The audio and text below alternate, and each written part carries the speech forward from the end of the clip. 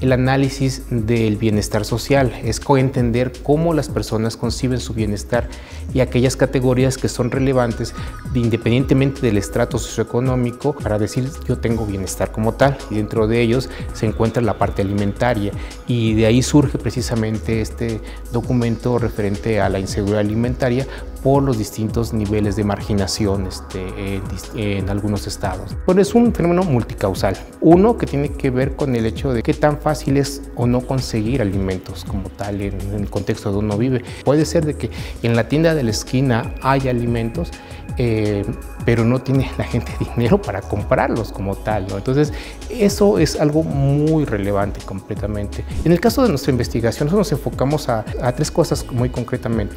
La primera que tiene que ver con las estrategias de afrontamiento que las personas realizan cuando eh, tienen, sienten que se les va a acabar la comida y sobre todo muy cercano, que es el segundo punto, al ciclo de pago. O sea, si te pagan a ti semanal o quincenal y sabes que faltan dos días para la quincena y ya está a punto de terminarse tu dinero, entonces lo que haces primero es asegurar comida. El segundo tiene que ver con bajar la calidad de los alimentos. Las personas que viven en los barrios con mayor marginación pues, empiezan a saltarse las comidas, de no cenar sobre todo, a veces no desayunar, nada más hacer una sola comida al día. Son una parte de las estrategias de afrontamiento que las personas van realizando en relación al contexto.